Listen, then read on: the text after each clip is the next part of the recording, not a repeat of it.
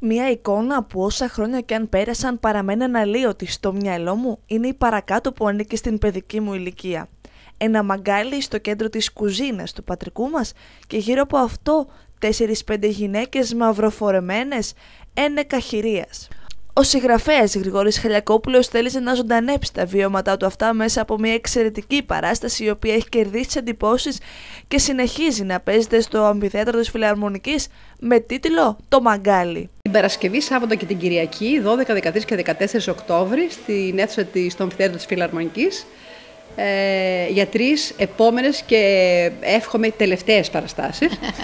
ε, μετά από την επιτυχία που γνώρισε το Μαγκάλι ε, το Μάρτι, όταν το ανεβάσαμε το Μάρτι εδώ πάλι, ε, και την επιτυχία που είχε που και για μας ακόμα ήταν απρόσμενη. Ε, ήταν μια πρόκληση ε, που ε, δεχτήκα, τη δεχτήκαμε έτσι με πολύ χαρά ε, μετά από την πρόταση που μας έκανε ο Γρηγός Χαλιακόπουλος, ο οποίος είναι συγγραφέας του θεατρικού έργου, να ανεβάσουμε αυτό το έργο. Εμείς στην αρχή είμαστε πάρα πολύ επιφυλακτικοί, γιατί είναι η πρώτη φορά που τολμάμε από την πειραματική να κάνουμε κάτι ενήλικες, θεατρικό.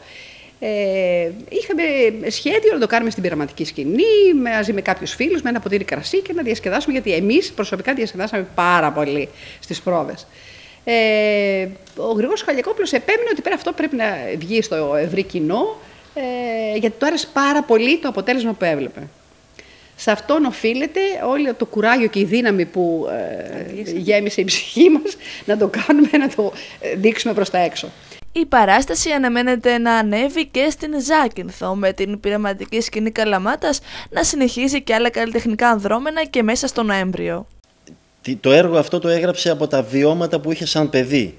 Το έναυσμα το πήρε και μάλιστα όταν τον είχαμε ρωτήσει πόση ώρα, πόσο, πόσο καιρό σου πήρε να γράψεις αυτό το, το έργο, ε, μας είπε τρεις ώρες, γιατί είχε τις εικόνες από παιδί.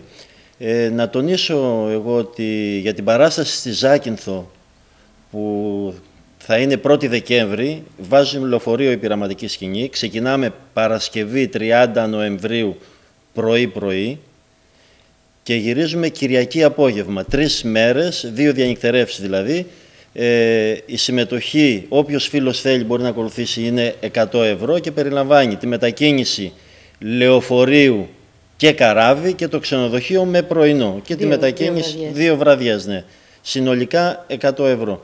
17 έχουμε προσκαλέσει τον Θόδωρο Μαραγκό, του σκηνοθέτη, από τα φιλιατράκια αυτός.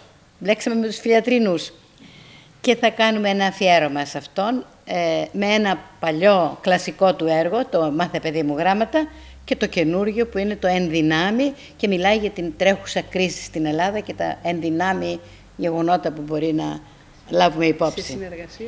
Σε συνεργασία με την ε, νέα κινηματογραφική Λέσχη Καλαμάτας.